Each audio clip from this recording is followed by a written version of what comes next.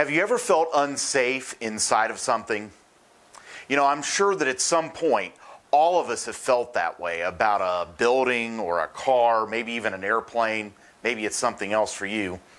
About 20 years ago, when I was in college, I went with a group of college students to the Holy Land in Israel. Now, when we first got to the airport in New York to make the flight across the Atlantic, we got on a humongous 747 airplane, one of the biggest airplanes ever built. Now, at that time, it had been the biggest I'd ever rode on. And when I got in the plane and I looked around, and then when I got to my seat, let me just say I didn't have the most confidence because when I looked out my window and on the wing, I saw rust stains on the rivets of that was holding the wing together. And then inside of the plane, it felt like I had stepped back into the 1970s, I'll have to admit, and I was a little bit alarmed. And I can remember just before takeoff, there was a girl that I was friends with in college who sat beside me, behind me, and through the seat, she says, she says, I really hope this thing takes off. That's not a, much of a vote of confidence. And I can remember that entire flight praying that we would have a safe flight. And obviously, it got us there. You would have thought, in getting on this plane and going over to the Holy Land, that I would have been so excited to go to the place where Jesus had walked. But let me tell you, that whole flight of six plus hours was unsettling, to say the least. You know what? Our security and our safety really does matter to us. If we don't feel safe in the places we dwell, it's hard to thrive when you're always looking over your shoulder or worried the floor might cave in, right? You can't focus on people or personal growth when you are in a scary, unsafe place. We, we just can't do it. And, and so I want, I want to ask you to consider this. I want to encourage you to consider this. Are things well in your life? If not, then ask another question where are you dwelling? Perhaps you could be in the wrong place. Maybe you could be in the dwelling of your own pride and your own self confidence, putting up this facade of strength, which is, which is not really there. Maybe your dwelling is in relationships with other people. Maybe you are a maybe you're a people pleaser and it and it's hard. It is really hard to feel love and to be confident. Well, when things are not that stable. Maybe it's school, if you're still in school. Maybe it's your friends or your grades. And you dwell in that, and it's, and it's in that that you find your hope. And when those grades just aren't doing very well, things just don't feel that safe. See, it happens to all of us. See, as humans, we were made to dwell. I mean, that's why we build homes, right? It's, it's why when we watch, if you're into watching survivalist shows on TV, what do they usually do first when they go onto a deserted island? They build shelter. There is a security that comes in being sheltered, unless, unless it is in the wrong place. And in many ways, if you think about it, it's much easier to find shelter in the wrong places than in the right ones. And so that begs the question where is the right place to shelter? A little bit later, we're going to be joined by some of our online church family who are going to read for us John chapter 1, verses 1 through 14. And after that, we'll kind of dig into this passage and find out where we can find our shelter. Hi, I'm Joey Toomey. And I'm Holly Toomey. Even though we live more than an hour away from Cambridge City, we still consider Cambridge City Christian Church to be our church. We enjoy worshiping with you online each week as we approach our first Christmas together as a married couple. We are glad to be able to join in worship this morning by reading the scripture, which is found in John chapter 1, verses 1 through 14. In the beginning was the Word, and the Word was with God, and the Word was God. He was with God in the beginning. Through him all things were made. Without him nothing was made that has been made. In him was life, and that life was the light of all mankind. The light shines in the darkness, and the darkness has not overcome it. There was a man sent from God whose name was John.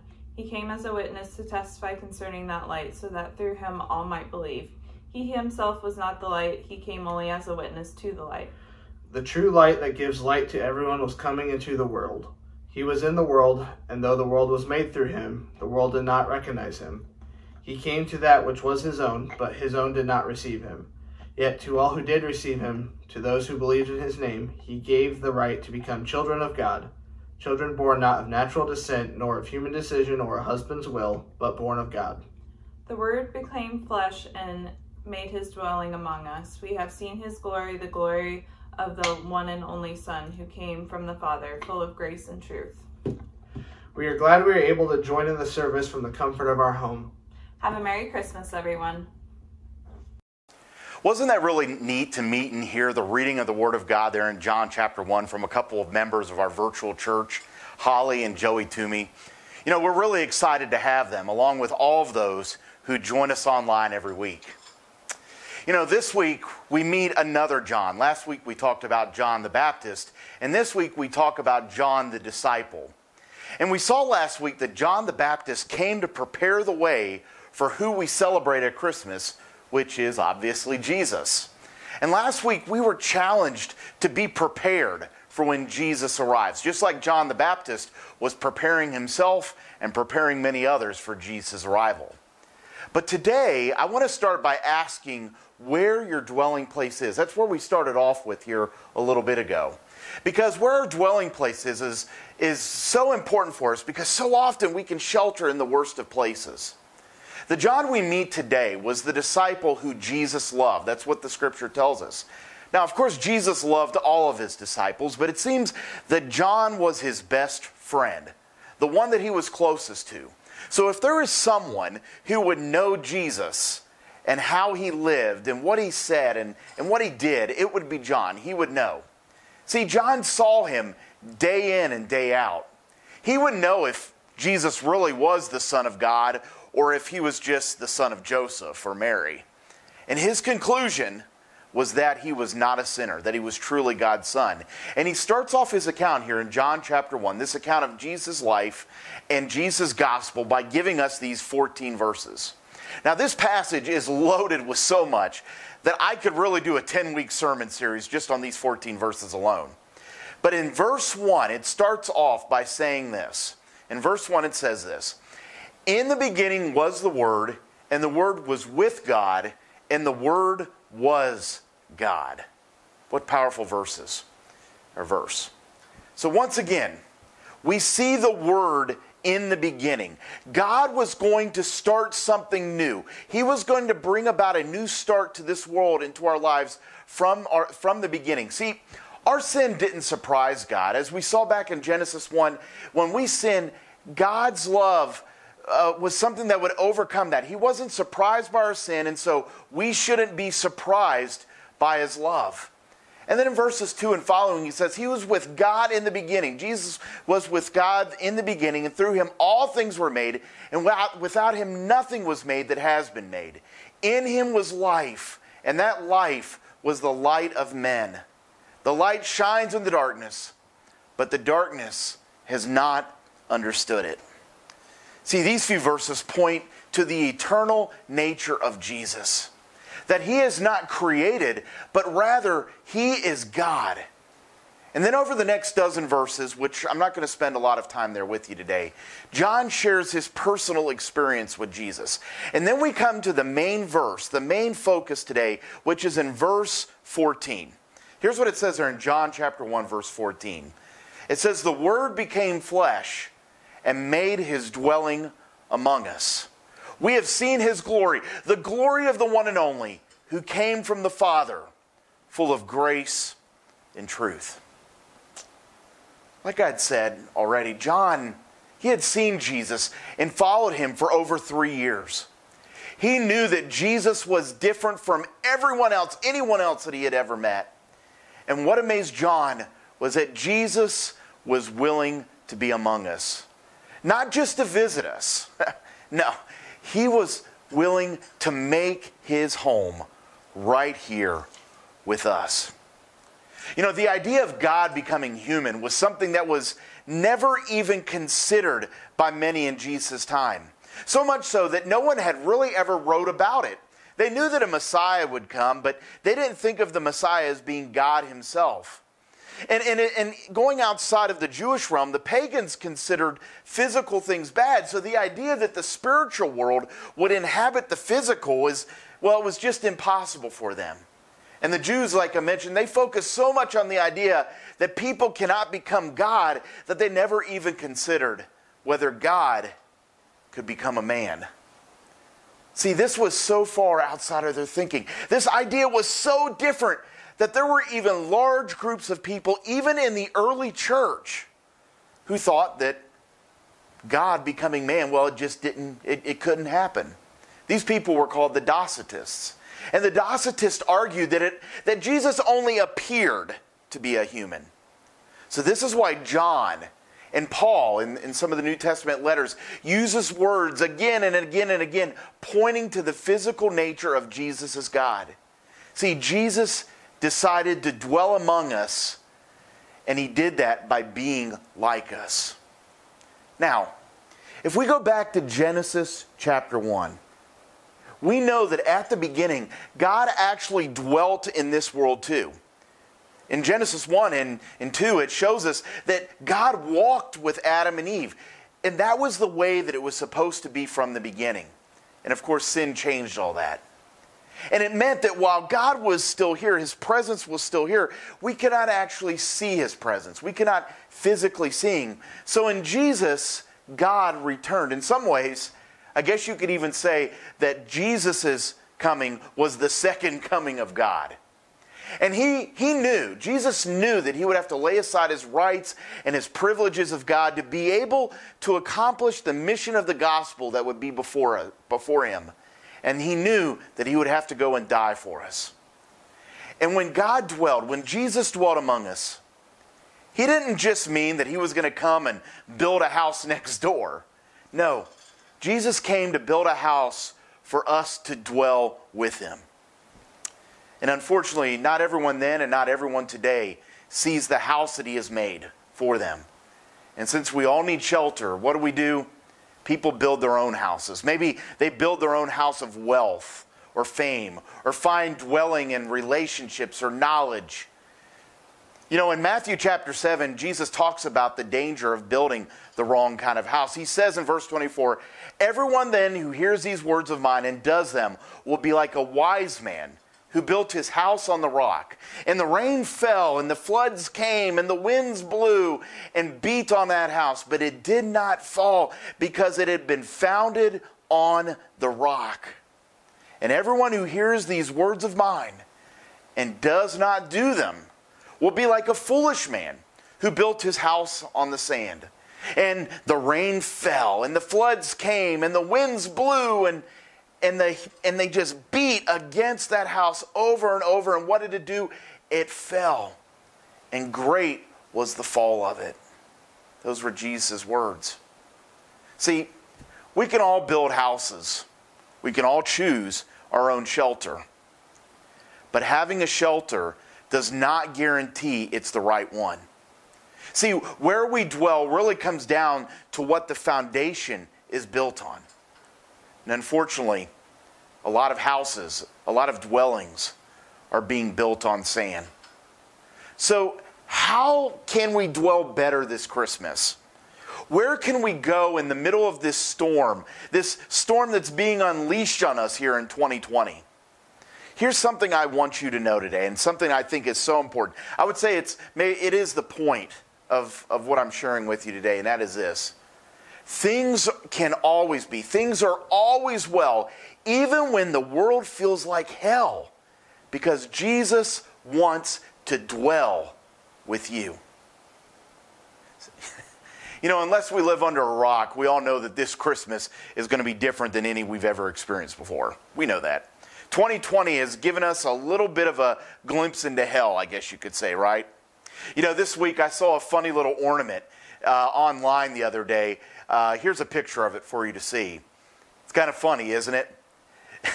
it's, it shows a picture of, of a dumpster fire with the year 2020 on it. And you can even get them in different colors. You can even find some of them that have flickering lights.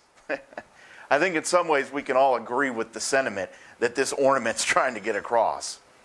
And this is, this is why where we dwell this year might matter more than in any, in any other time in our lives. A lot of people in our world, our community, our families, and our churches, they are just scared.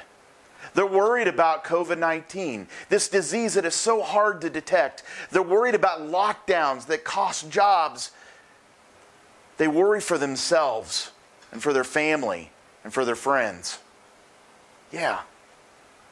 There's a lot of worry and a lot of places to be scared. And, and so, what do we do? We look to go to those places where we can dwell and find safety in. Maybe we avoid the situation that we're in totally by avoiding the news or social media or staying at home. Maybe we dwell in our knowledge of the disease. We find comfort in that home. Maybe you think, I know this or that, and, and in those things that I know, I will dwell. Maybe we say, let's trust the scientists, and that's where I will dwell. Maybe you even say, I will trust to my own intuition, and that's the place where I will dwell.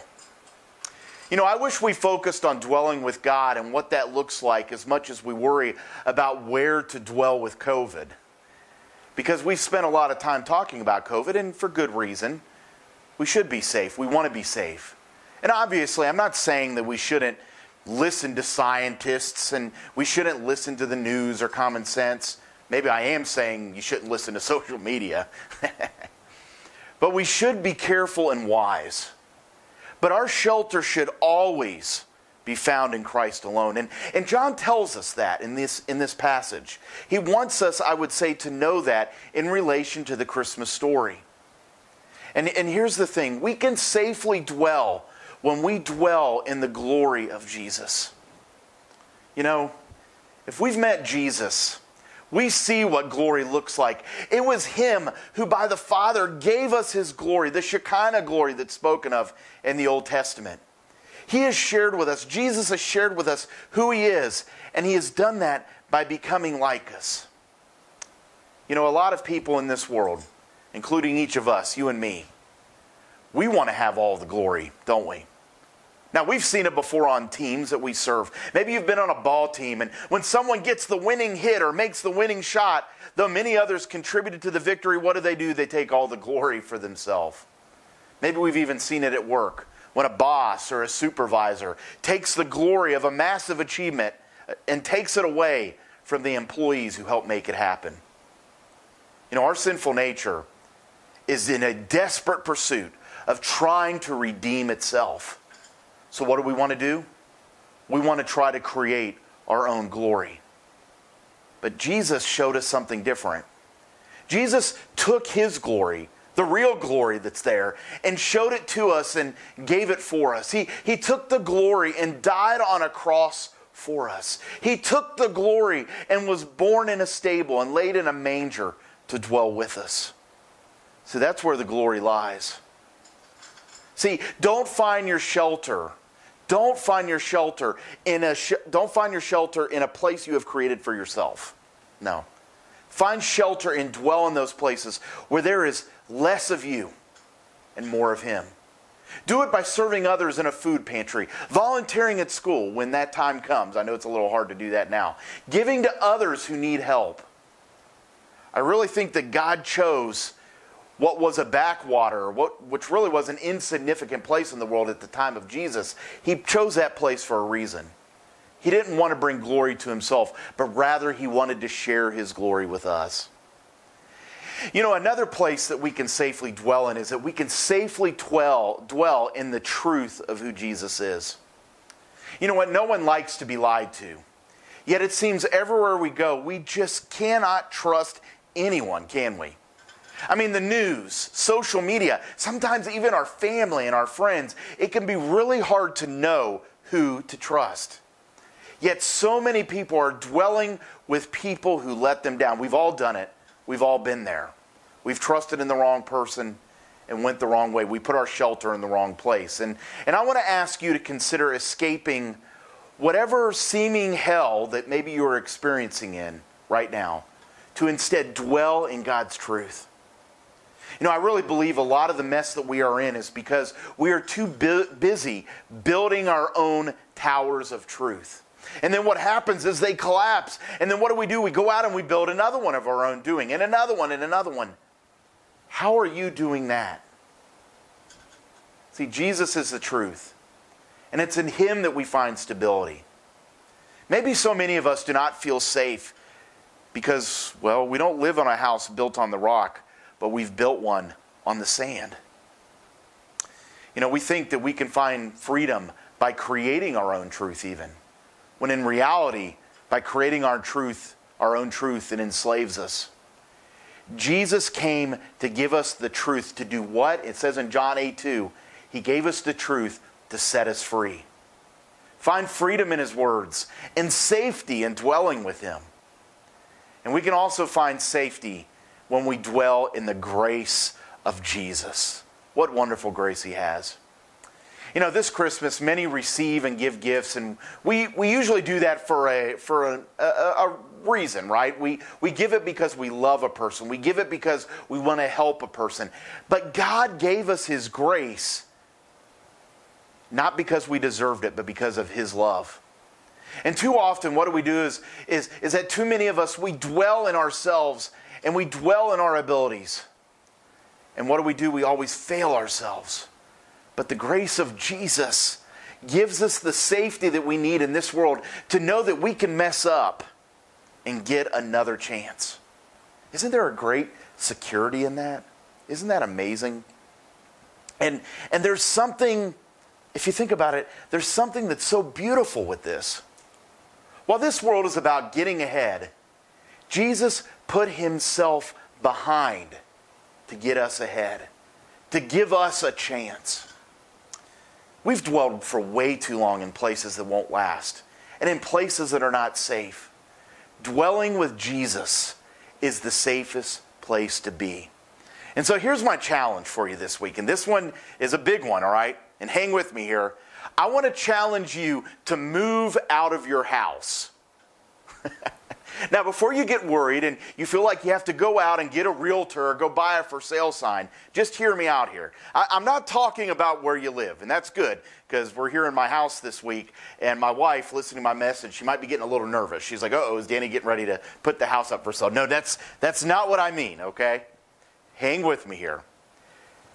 I want to invite you to take stock of where the address is to your heart. Maybe the address belongs to yourself. Maybe it's one myself way. Or maybe it's your spouse at 2 Lovebird Lane. Or maybe it's your kids at 3 Munchkin Street. or maybe your home address is not even a person. Maybe you dwell in your work at 4 Career Trace. Or it's a sport at 5 Legends Avenue. I think you get my point, right? Where is your address? You might need to move all of us have an address that is different. all of us have an address that is different from our street address. It's the place where our heart resides. And if that heart is dwelling in Jesus, if it's not, you need to move out. Because, see, here's the thing where you dwell says a lot about whether things are well. Let me say that again. Where you dwell says a lot about whether things are well. Each Christmas, we celebrate that Jesus decided to change his address to be with us. He gave up all of heaven, all that heaven had to offer, and came amongst us in a dirty stable filled with people living, living broken lives, and decided that to be here was the place that he wanted to be the most and that we needed him to be the most. And how about you? Are things not well? Maybe it has, it has little to do with what has happened or who has done whatever to you, but more about well, where you dwell.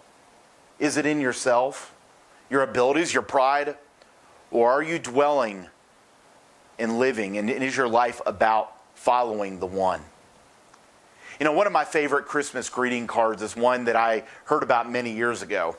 It describes the birth of Jesus in a nutshell. When, when you look at the printed greeting on the inside of the card, it simply said this He became what we are so we could become what He is. Isn't that great? God has come through Jesus to dwell among us, to make us more and more, more like He is. So, my question for you is Will you dwell with Him there? Will you dwell with Jesus there? Will you move to a new address? There was a young man who was constantly quarreling with his dad. And after many years, he finally left home and he never even said goodbye to his dad. Now, he continued to keep in touch with his mom, but he cut off every communication possible with his father. He would not speak to him, and he would have nothing to do with him. Well, after a few years, he wanted to come home for Christmas. He wanted to come home so bad, but he was afraid that his dad wouldn't allow it after what had happened those previous years. So his mom wrote to him and urged him to come home. And inside, he felt that he, he just couldn't do that until he knew that his father had forgiven him. And they wrote back and forth, he and his mom, a few times about it. And he wondered and he waited. Should I go? Should I go this Christmas? Well, finally, there wasn't any more time. It was getting close to Christmas. No more time for letters, no more time for emails, texts. So his mother wrote him and said that she would talk to his, to his father. And if he had forgiven him, that what she would do is she would tie a white rag on the tree right next to the railroad tracks that were near their house in their backyard. And when he come up on the train, he would be able to see the tree before the train reached the station. And if there were no rag on the tree, then his son would know that it wouldn't be good to come, and he would just stay on the train and go on by. Well, the young man, he got on the train and he started for home. And, and as the train got closer and closer to his house, he became so nervous he couldn't look out the window. He had brought a friend along with him, and, and he said to his friend who was sitting next to him, he says, I just, I can't look. I can't see it. Uh, would you just sit in my place and look out the window for that big tree in my backyard next to the tracks and tell me, tell me if there's a rag on it or not? So they get closer and they get closer, and the anticipation builds. And his friend trades places with him, and he looks out the window. And after a while, the friend says, he says, Oh, I, I, I think I can see the tree. I see the tree. The anticipation builds, and, and he's wondering. The son asks his friend, Is there a white rag that is tied to the tree? Is, is there a white rag tied there? In an almost desperate plea for a moment, his friend didn't say anything. And then he turned and a voice. He told his friend, he told the son, there's a white rag tied to every limb of that tree. What a cool story. And that is where we should live. We should live in a home that is filled with limbs, waving white flags, waiting for us to come home to be forgiven. And let's find that place with Jesus this Christmas. And let's dwell with him there.